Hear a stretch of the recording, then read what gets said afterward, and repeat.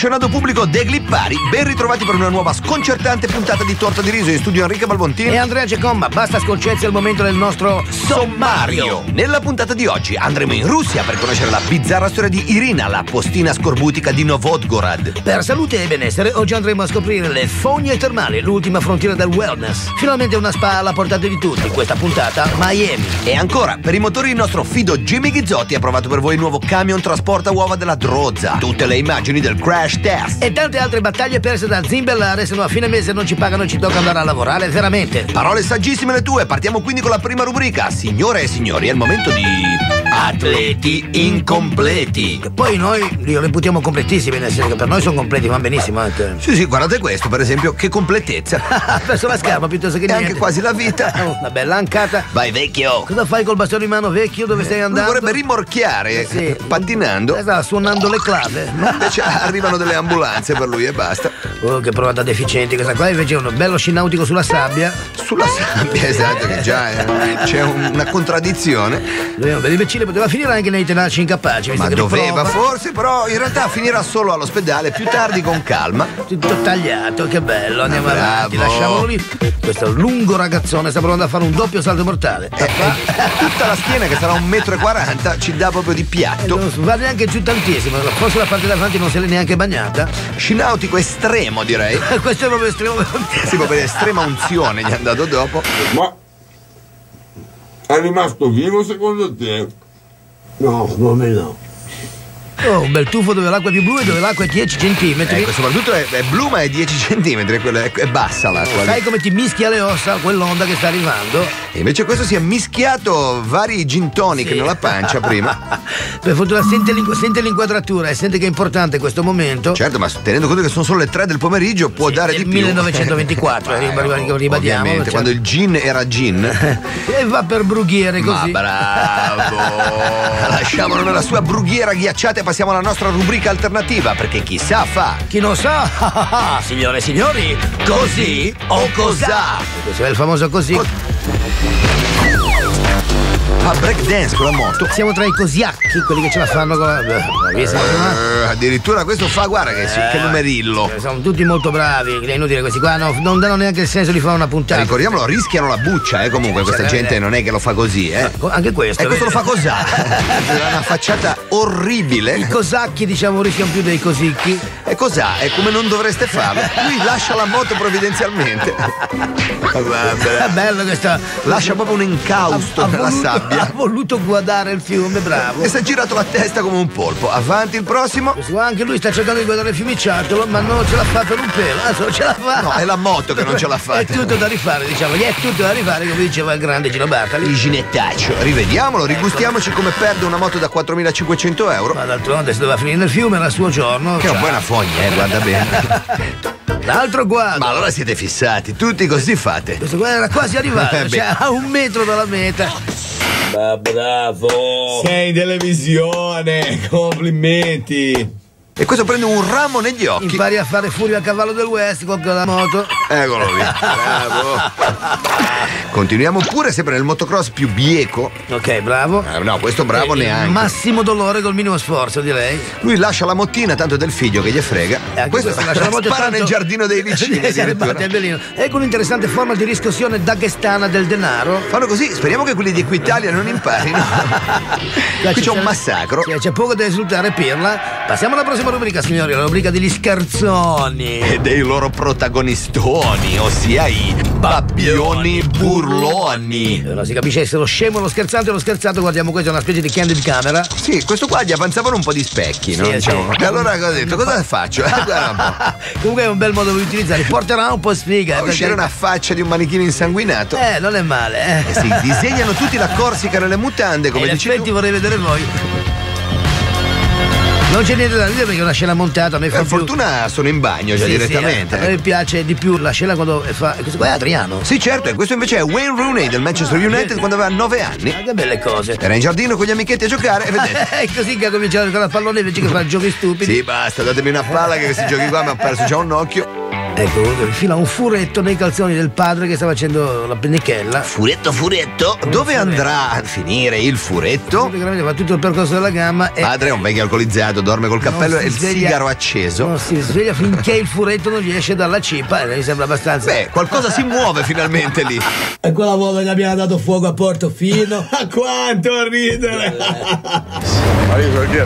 Avete sentito questo è lo scherzo della scorreggia finta, una boiata incredibile che abbiamo detto alla regia di non mettere. Questi ridono, ma c'è poco da ridere in realtà, sì. Noi vi vogliamo evitare anche il rumore di flatulenze, magari state anche mangiando, quindi Fa molto fidatevi. ridere, ridono molto in Australia questa Eh, boiata, ma sì, quando fa vabbè, ridere che- niente, gli avevano detto alla regia ma niente, loro Ma continuano. Anche il giapponese se ne va dicendo ma che scherzo di Ma merda. non ha detto questa cosa qua, dai, passiamo alla prossima rubrica che Me la vedo io. A livello personalmente aggiungerei Anche se iniziamo subito con un fake, cioè una filmata che è finto, lo vediamo subito questo qua, non è. dovrebbe essere lui l'aggiusta tutto. Sì, sì, il, il, il De Niro di sta scena è lui. Ma cappellino che vola, lui che cade dalla Ah, scala. Meraviglioso, passiamo al prossimo, speriamo sia vero. Questo Sì. mi sembra già più vero, eh? C'è proprio il physique du rôle del Non si imbecille. capisce se è casa sua oppure se sta scasinando, per cui sta provando, sta partendo dalla maniglia. Purtroppo la E lì maniglia, finisce La maniglia anche. lo delude fortemente. La maniglia però ci delude lui, ma dà delle gioie a noi, eh? Comunque. D'altronde è andata come è andata, passiamo quindi al prossimo. Ah, Dimostrazione di pompieri, eh. Pompieri si nasce, si sa proprio. Guardate cosa L'uomo l'ha spento, ma nel frattempo sta distruggendo un quartiere. Adesso non riesce neanche a spegnere il fornello, vabbè. Alcolizzati di Baviera. Ecco. come si ciuccia le dita per non perdere manco un goccio. Ci lascia una retina, eh, Ci però. lascia una retina perché poi aspira la birra e la- basta con l'aspirazione fa scatenare una fuoriuscita da vulcano. Vabbè, bella scena. Complimentoni. Sei un idiota detto per inciso. Complimenti, sei su torta di riso. In Italia ci lamentiamo quotidianamente dei volantini che troviamo nella posta. Ma guardate un po' in Russia cosa fanno? Una Perché tecnica innovativa. è così, spacca la vetrata e te li butta dentro. Inizialmente sembrava che volesse buttare via la neve dalle scarpe, invece no. No, no, no, è proprio un atto di teppismo gratuito. sua.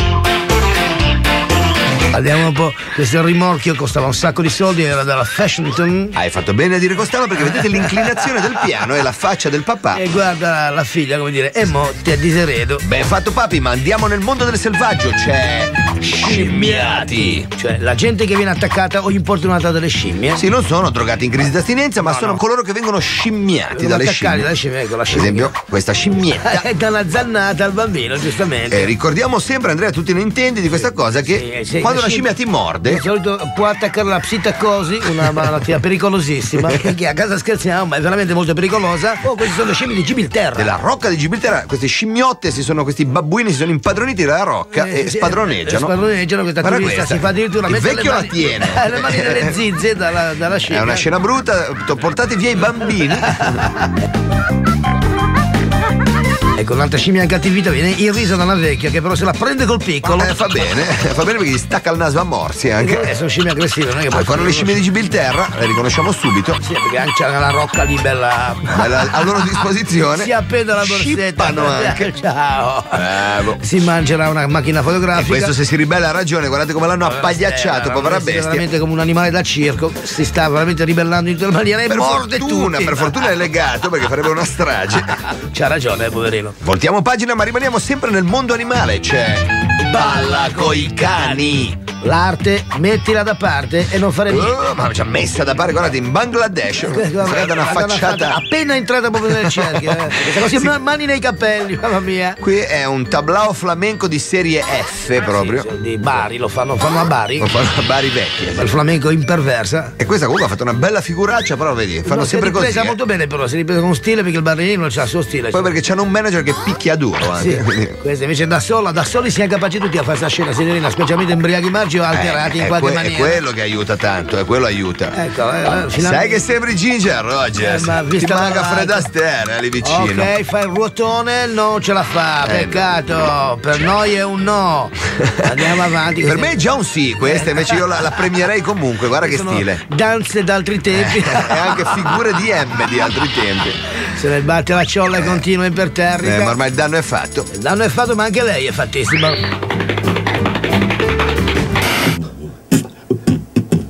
Nel nostro panorama solo lei ci mancava e per la parità dei sessi ti diciamo ma brava.